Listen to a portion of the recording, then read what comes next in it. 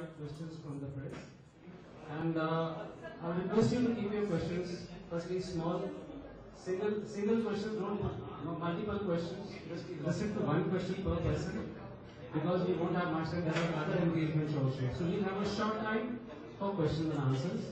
And at the end of the conference, then uh, we will be also giving you some handouts. That's at the end. Major General Sunil Yadav. He is the officiating General Officer Commanding, officiating GOC Bengal. Right? So I request you to uh, put your mobiles off. Be a little uh, silent uh, during the when he's reading out the address. Question and answers, please raise your hand. I will stop you. Right. So after this, after he finishes the address, I will, I will invite questions. Raise your hands. Kindly give out your name and the agency to which you belong.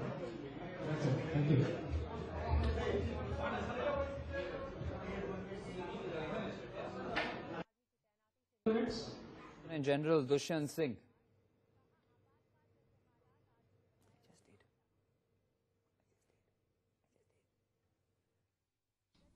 I don't want to lower the dignity of my argument or the dignity of the Trinamool Congress by even responding to such audacious and obnoxious charges of this BJP.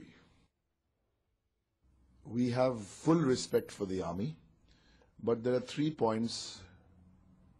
One, the data which they're looking for, we are told, is already available. Number two, are they authorized to go and collect funds from toll plazas? And number three, which is completely incorrect, Eastern Command have put out a tweet saying that this has been coordinated and everybody in the police knows. I have to say this, that this is untrue, this is false. They should have spoken. They should have. See, writing a letter or making a phone call or talking to the police is a very small matter, but it solves a lot of problems, lot of conflict structure. What is the harm if you tell them that this is what we are going to do? And they were there trying to check the vehicles. They were there asking for money. They should have a dialogue with the state premier or the police, and taken a permission of the police. Because in a federal structure, there should be respect for opposition. There should be respect for the state This is unfortunate development has happened in West Bengal. Why the central government is acting so moto without uh, a requisition from state government? Uh, they should not do it. But let us see when Parliament starts. The I will also contact the West Bengal MPs and after knowing the problem is that the Chief Minister of West Bengal is uh, under a belief that uh, center is hostile because she has crossed swords with center. She has very uh, bluntly criticized all the policies of the center as also the Prime Minister's uh, way of functioning. And therefore, she has every reason to believe that uh, the center is hostile to her and center is trying to put her into some problem or the other. जो भी हरकत की है आ, army को अपने आप बगैर राज्य सरकार की सूचना और अनुमति के वो पूरी तरह से असंवैधानिक है और ममता जी ने जो प्रतिक्रिया दी है, मैं उससे पूरी तरह से सहमत हूँ। मिलिट्री व्हीकल्स वगैरह चेक कर रहे हैं तो एनुअल एक्सरसाइज है, उन्होंने बता दिया। इसमें क्या प्रॉब्लम है उनको? उठाना चाहिए तो उठाने दीजिए, मगर डाइवर्ट करके इश्यूज़ को, असल इश्यू जो मेन इश्यू देश के सामने है ये उसको टैकल करने का, उससे चर्चा से ये लोग क्यों संकोच कर रहे, चर्चा में नहीं भाग ले रहे, मुझे भाग नहीं ले रहे मुझे समझ में नहीं आ रहे। कहीं ना Sudeep you don't want to madam madam I will go yes I am please please Sudeep ji. वो that will take up no that I will not allow Sudeep ji. वो madam yesterday yesterday yesterday in the afternoon yes बोलो दीजिए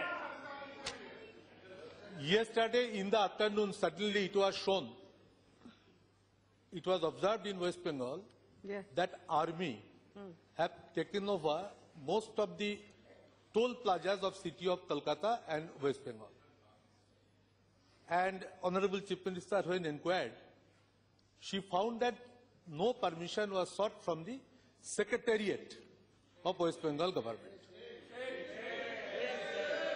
Madam Navalno, the name of the Secretariat, is just attached to the Vidyasagar toll plaza, just adjacent to this toll plaza, army was deployed in 19 places of the state of Bengal.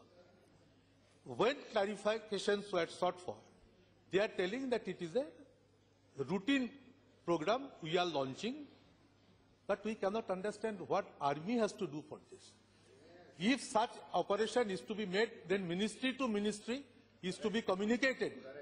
That defense ministry will tell state government and they will come to the uh, rescue. It is a fantastic situation going on and army has declared today in the morning, their authority, that they are making their routine exercise in Manipur, Assam, Arunachal, Nagaland, Meghalaya, Tripura, Mizoram and West Bengal, all the northeastern states. Even they have not the idea that West Bengal doesn't fall under the jurisdiction of northeastern regions. Madam, what I want to say, the people of the country have highest faith for the army.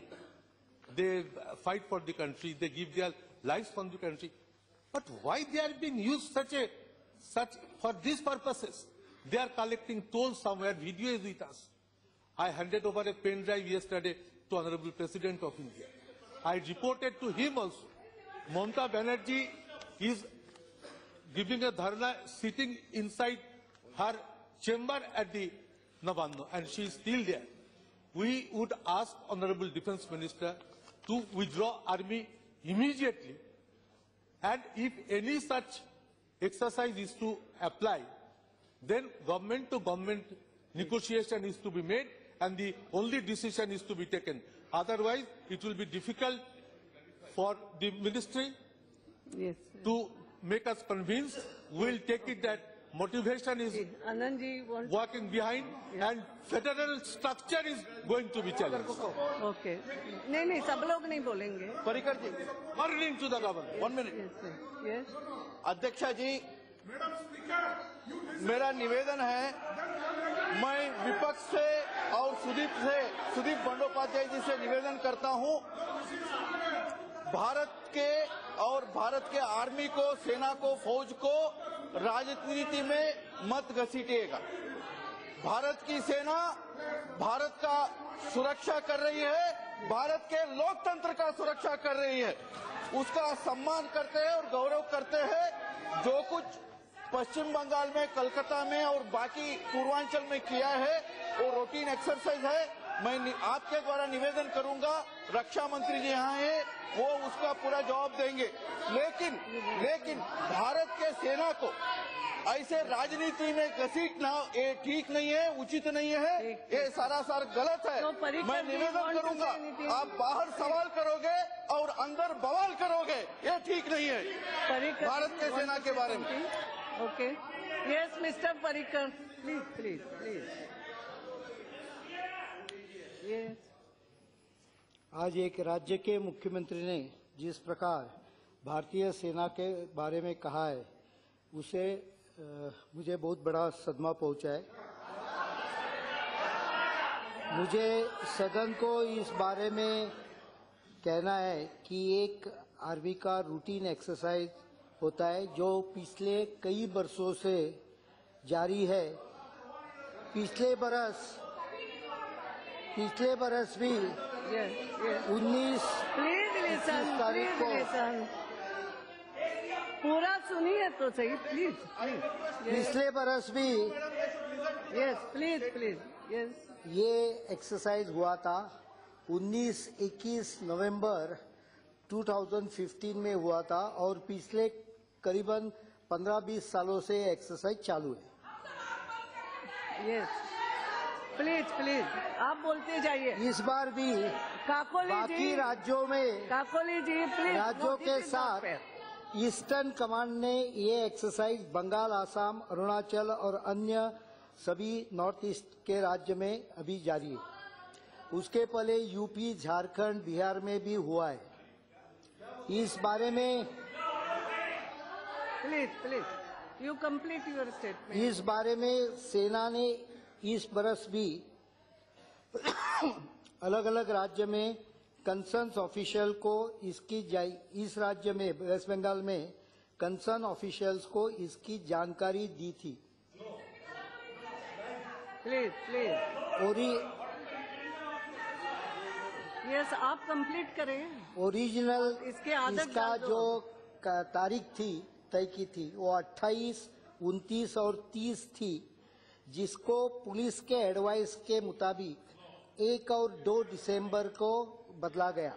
क्योंकि police ने कहा कि 28 तारीख को वहाँ बंद है तो ये थोड़ा प्रॉब्लमेटिक हो जाएगा तो इसलिए एक और दो तारीख को कर दिया गया। ट्रैफ़िक ट्रैफ़िक कंजेशन के डर के कारण ये सब कार्यक्रम में जॉइंट इंस्पेक्शन पुलिस के साथ भी की गई है।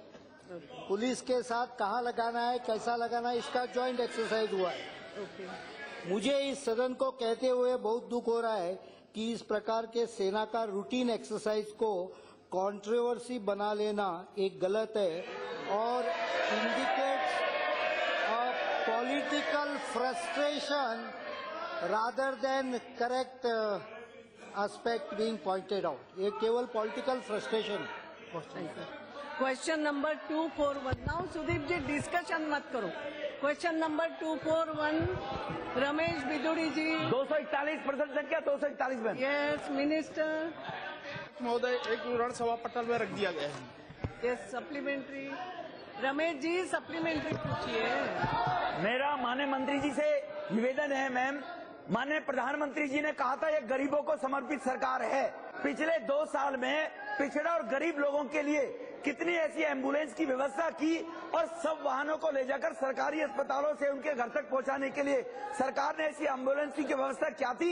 और वित्तीय सहायता जो दी गई है उनकी रखरखाव के लिए ऐसी कितनी पेंडिंग पड़ी हुई है, जो आनी है जी मैं माननीय मंत्री से जानना चाहता हूँ आपके माध्यम से जी। अध्यक्ष महोदय, जहाँ तक माननीय सदस्य का सवाल है कि राष्ट्रीय स्वास्थ्य मिशन के माध्यम से हमने जो राज्यों के जो रिक्वायरमेंट्स है, उस रिक्वायरमेंट के आधार पर हम राज्य सरकारों को सहायता देते हैं और जो भी वहाँ पर चाहे 108 की व्यवस्था हो 102 की व्यवस्था हो 104 की व्यवस्था हो, ये राज्य सरकारों के रिक्वायरमेंट के आधार पर हम राष्ट्रीय स्वास्थ्य मिशन के माध्यम से उनको सहायता करते हैं, क्योंकि कुल मिलाकर के राज्यों का विषय है, राज्य उसको देखते हैं। मैम केंद्र सरकार ने राज्य को जो सहायता दी थी राज्यों ने कितना इम्प्लीमेंट किए? है जी एक मिनट। मेरा एक रिक्वेस्ट है आप सब लोगों से। मैंने मैं आपको रोक भी नहीं रही हूँ कई दिन चल रहा है। मगर प्लीज़ ट्राई टू इतने सारे लोगों का एक अधिकार है प्रश्न पूछना उत्तर लेना मंत्री से।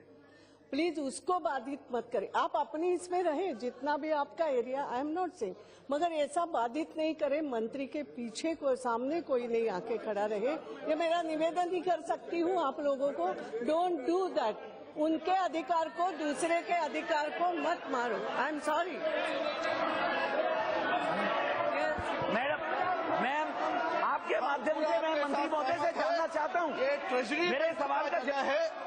कभी भी पिछले 30-40 सालों में ट्रेजरी बेंच के सामने आकर के खड़े नहीं होता है इसलिए इनको मना करना चाहिए इसको अलो नहीं करना चाहिए मैडम। इधर बताइए मुझे नेमिंग करना पड़ेगा। मैं एक बार वार्निंग दे रही हूँ। आई एम वार्निंग अगर इधर आओगे मुझे I will have to name you otherwise I will have to name you yes Bidhuri ji ma'am आपके माध्यम से माननीय मंत्री जी से जानना चाहता हूँ राज्य सरकार को इन्होंने जो हेल्प की है राज्य सरकारों ने ऐसी कितनी एंबुलेंस चलाई है उनके आंकड़े मुझे चाहिए मैम माननीय मंत्री जी साहब के माध्यम से जो वित्तीय सहायता दी है राज्य इम्प्लीमेंट कर रहे नहीं कर रहे उसको जी?